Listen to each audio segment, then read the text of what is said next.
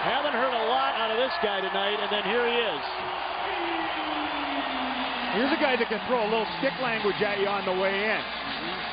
This will have some moves on it. Turco waits. In comes Hemsky. Near side. Forehand. Shot. Score! Oh, he went with the changeup. Oh.